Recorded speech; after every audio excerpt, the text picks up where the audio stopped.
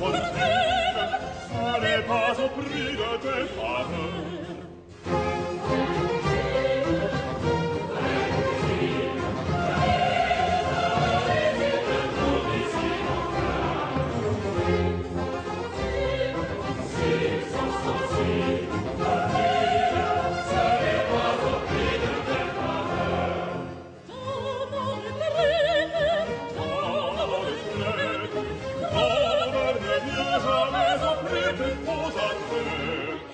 Sieben,